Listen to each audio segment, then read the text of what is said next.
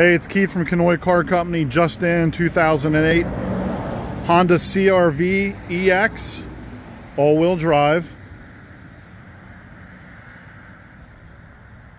You can see it has the aluminum wheels, it has brand new tires, cloth interior. Power windows and locks. Cruise control, manual driver seat air conditioning heat, CD player, sunroof, just over 150,000 miles, super clean inside and out.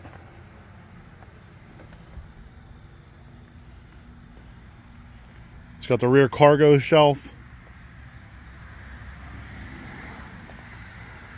It's been serviced and inspected, fresh oil change.